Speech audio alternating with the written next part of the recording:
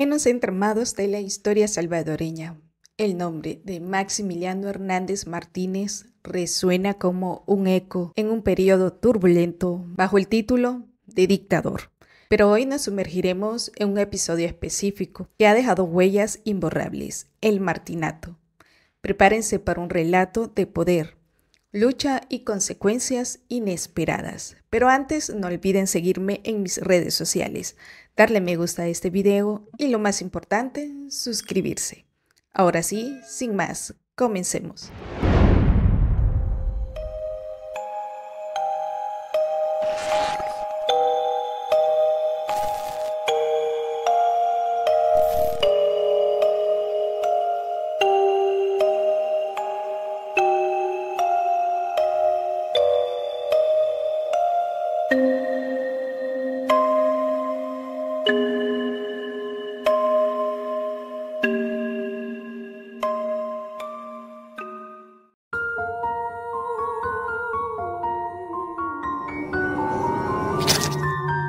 Entre 1931 y 1944 se teje un oscuro episodio conocido como el Martinato. En ese turbulento tiempo, el general Maximiliano Hernández Martínez emergió como una figura controvertida, gobernando dictatorialmente durante 13 años.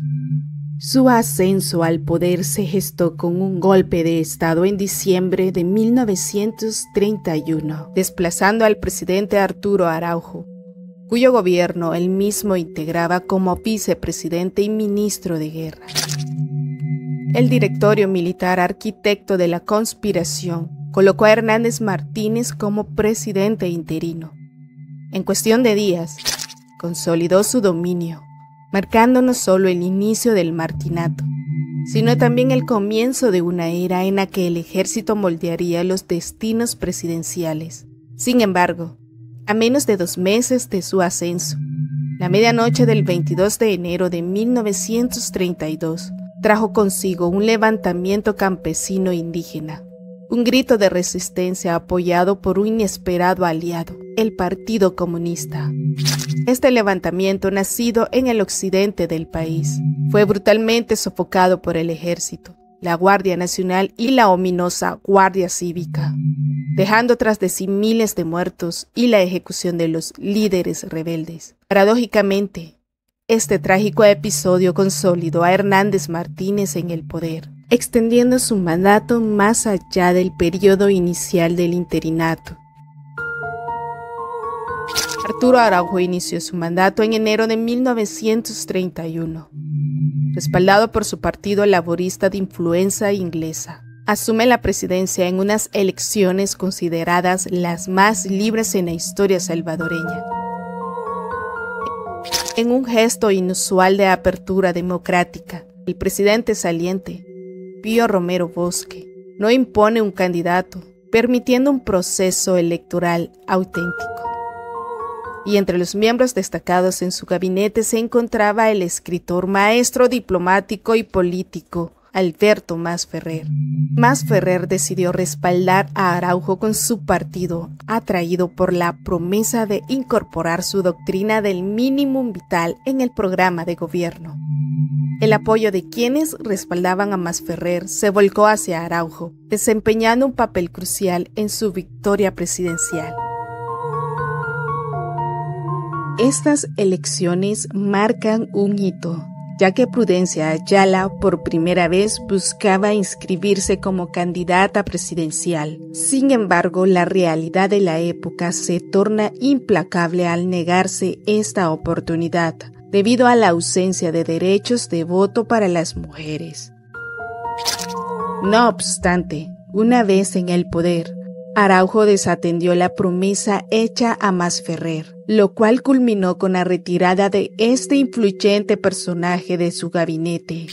Su mandato se vio empañado por la falta de orden en la administración pública y la escasa implementación de las reformas prometidas, como la distribución de tierras para los campesinos. Allana el camino para un golpe el 2 de diciembre de 1931. Este golpe cuidadosamente orquestado por militares y civiles, marcará el inicio de un periodo turbulento en la historia salvadoreña.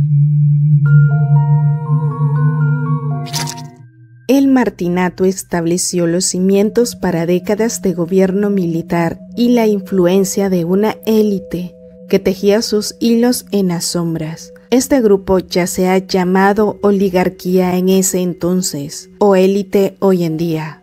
Extendió su red de influencia a través del gabinete y las organizaciones estatales y semiestatales. Desde Guatemala, Arturo Araujo intenta recuperar el poder, pero la división y la debilidad de los partidos que lo respaldaban, el laborista y el proletario, lo condenaron al fracaso. Araujo cayó en el olvido, especialmente para los militares, a pesar de haber ascendido al poder mediante el voto popular y siendo respaldado por el Partido Laborista. Su gobierno no escapó a la mirada crítica de los militares y sorprendentemente tampoco contó con el favor del gobierno estadounidense, que demandó su remoción legal. Para la oligarquía cafetalera, esta respuesta contundente se erigió como la fórmula adecuada para resolver la crisis, fortaleciendo la confianza en Hernández Martínez, este episodio marcó un giro inesperado. La sugerencia de que para la seguridad y paz del país resultaba más sensato que los militares gobernaran en lugar de los civiles. En este complejo escenario, la posición inicial de Washington arrojó sombras sobre los primeros años de la dictadura, pero con el tiempo evolucionó hasta reconocer la legalidad del régimen martinista. La condición para el reconocimiento post-golpe era clara. Los nuevos gobernantes no debían haber participado ni ocupado roles militares en el golpe. Hernández Martínez, parte del gabinete de Arturo Araujo, evitó hábilmente implicarse en el golpe, permitiéndole ser nombrado presidente interino y luego elegido hasta 1935. A pesar del sólido respaldo interno que Hernández Martínez había logrado, el gobierno estadounidense optó por no reconocerlo, argumentando razones legalistas vinculadas al Tratado de 1923. Este desencuentro dejó al gobierno salvadoreño aislado del Tratado Internacional. Pero Hernández Martínez no cedió ante la presión y resistió esta situación durante varios años. Paradójicamente, el conflicto con Estados Unidos no debilitó, sino que fortaleció la imagen del presidente como una figura firme y astuta, capaz de abordar desafíos complejos. Construyó un liderazgo sólido que a pesar de la falta de reconocimiento externo, fue considerado beneficioso para los intereses estadounidenses, así como sus medidas para restaurar el orden y estabilizar la economía nacional. No solo fueron toleradas, sino valoradas por Estados Unidos. Más aún tras los eventos de 1932, Hernández Martínez se esforzó por presentar un rostro menos autoritario, adoptando una actitud más discreta, la complejidad del levantamiento campesino indígena de 1932, respaldado por diversas fuerzas y la contundente represión que le siguió, será el enfoque de nuestro próximo video. Durante el periodo de 1935 y 1944, bajo el liderazgo de Hernández Martínez, El Salvador experimentó significativas transformaciones. En este análisis examinaremos los logros del martinato, donde algunos consideraron a Hernández Martínez como un presidente destacado, mientras que otros cuestionaron su liderazgo. El general formó un destacado gabinete marcando un periodo de intensa actividad administrativa, especialmente en el ámbito financiero. Las reformas e instituciones introducidas impulsaron la vida económica del país. El Banco Central de Reserva, colección cinematográfica que hoy en día son una fuente historiográfica de primer orden. En esta oportunidad haremos un viaje en el tiempo. Trasladémonos a 1934, al centro de la ciudad de San Salvador, exactamente a la segunda calle Oriente donde recién se ha creado el Banco Central de Reserva del Salvador.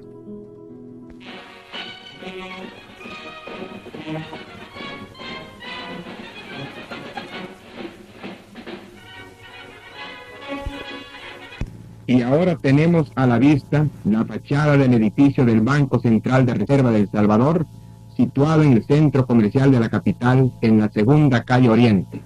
Vemos enseguida el interior del suntuoso edificio bancario con sus múltiples dependencias y oficinas, todo convenientemente dispuesto y arreglado para el despacho de los negocios de tan importante institución del Estado. El edificio no solamente es una obra de belleza arquitectónica, sino que reúne en sí todas las condiciones de un banco moderno a la altura de los de igual índole en otras partes del mundo. En los seis meses desde su fundación, se ha visto palpablemente los beneficios que la creación de este banco ha proporcionado a la vida económica del país, entre los cuales podemos citar la estabilidad del colón salvadoreño, lo que corrientemente llamamos cambio, que ha traído consigo el aumento del valor de la moneda nacional. Para completar esta obra trascendental del gobierno del general Martínez, está para ponerse en vigor la ley que creará el Banco Hipotecario. Banco Hipotecario, la Compañía Salvadoreña del Café, Caja de Crédito Rural, Cooperativa Algodonera, Dirección General de Obras Públicas y Mejoramiento Social, realizaron una labor encomiable. En el ámbito financiero se destacaron en la gran finanza, mientras que en el área de mejoramiento construyeron viviendas asequibles y lotificaron haciendas para familias campesinas. Se llevaron a cabo numerosas obras públicas como la construcción de carreteras, el Estadio Nacional de la Flor Blanca, hoy conocido como Jorge Mágico González. Saludo cordialmente a los jefes de los países hermanos y hoy, 5 de abril de 1935, declaro solemnemente clausurados los terceros Juegos Deportivos Centroamericanos y hago voto por el éxito de los próximos. Este estadio adquirió aún más relevancia al convertirse en el escenario principal de los terceros Juegos Deportivos Centroamericanos y del Caribe en 1935. Su importancia histórica se amplió posteriormente al albergar los segundos Juegos Deportivos Centroamericanos el 29 de noviembre y el 1 de diciembre de 1977. Edificios notables como el del Telégrafo y el Castillo de la Policía Nacional y grandes puentes como el Cuscatlán sobre el río Lempa en 1942. Estos logros se realizaron sin recurrir a préstamos extranjeros, gracias a una administración excelente y honesta, a pesar de los presupuestos limitados. Además, se destacó por reducir significativamente la delincuencia mediante un cumplimiento implacable de la ley durante el segundo periodo del presidente Maximiliano Hernández Martínez. Al dar origen a la Academia Militar, el presidente Hernández introdujo cambios significativos en la ley de policía. Prohibió a civiles portar armas de fuego, cuchillos, machetes y hondías, convirtiendo la evasión de esta normativa en un delito. Además, persiguió y castigó como delincuentes a aquellos sin oficios lícitos o con modos de vida deshonestos. Introdujo penas severas como la amputación de una mano por hurto y en casos de reincidencia la condena era el fusilamiento. Estableció sólidas alianzas con la Iglesia Católica, beneficiándose del apoyo de los monseñores prominentes de la época, Monseñor Belloso y Monseñor Chávez y González. Ambos estuvieron presentes en ejecuciones políticas. En el ámbito militar, Hernández Martínez fortaleció la profesionalización de oficiales mediante becas de estudio especialmente en Italia. Financió la construcción de un tanque de guerra, equipado con seis ametralladoras pesadas en 1939. Convocó a la Asamblea Constituyente para elaborar una nueva constitución, destacando la inclusión del voto femenino, bajo ciertas condiciones sociales y de instrucción. Sin embargo, en 1943, al intentar aumentar las tasas tributarias a las exportaciones para incrementar los ingresos estatales, rompió la relación que mantenía con los grupos oligarcas o élites. El general, atraído por los éxitos de gobiernos fascistas europeos como los de Hitler y Mussolini, estableció relaciones diplomáticas con Francisco Franco de España. Sin embargo, la presión de Estados Unidos tuvo que abandonar sus simpatías.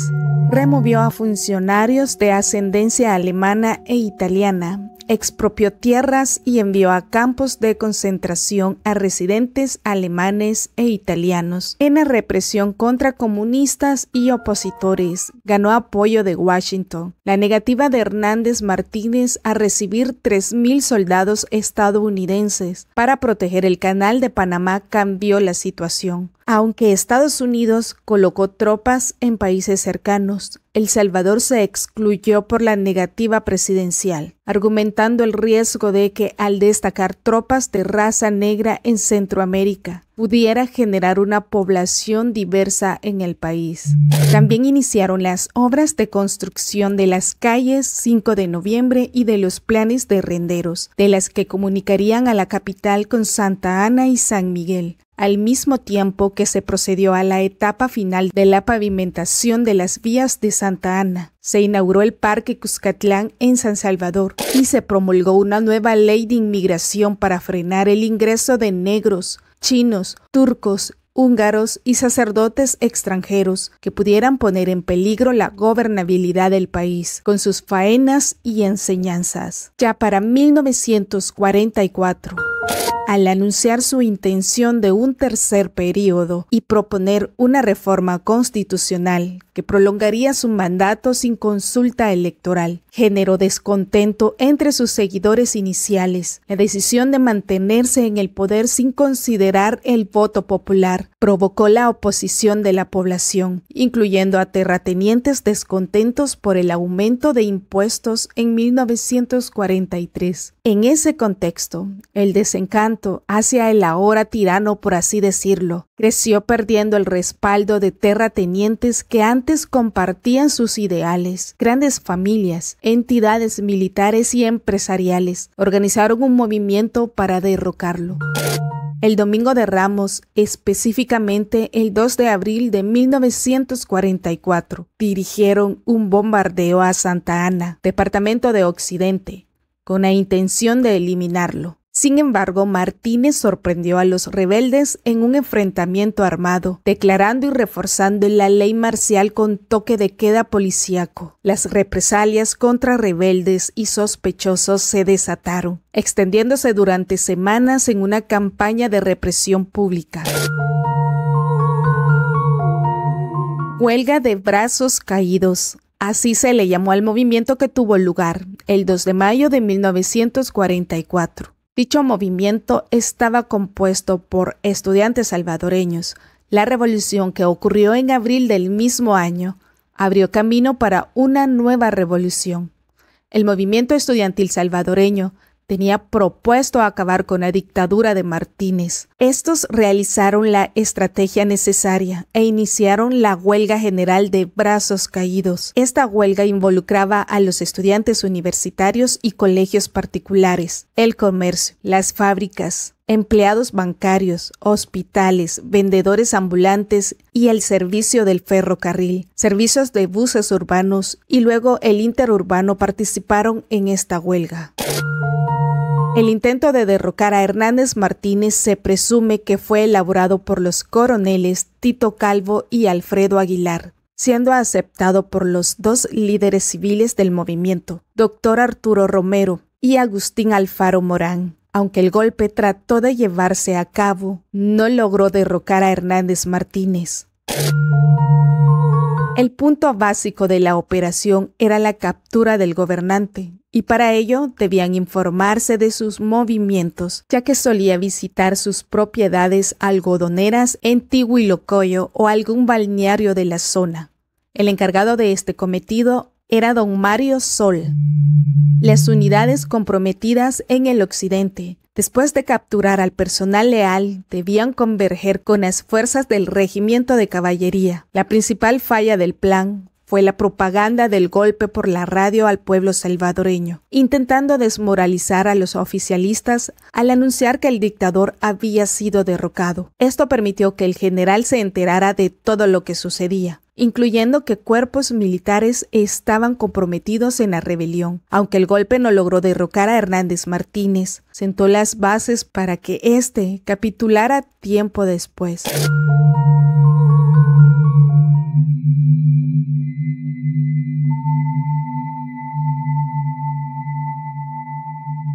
Su renuncia fue anunciada por él mismo mediante un comunicado radial el 9 de mayo de 1944 a las 9 de la noche, concluyendo su discurso con la frase, No creo en la historia, porque la historia la hacen los hombres, y cada hombre tiene su pasión favorable o desfavorable.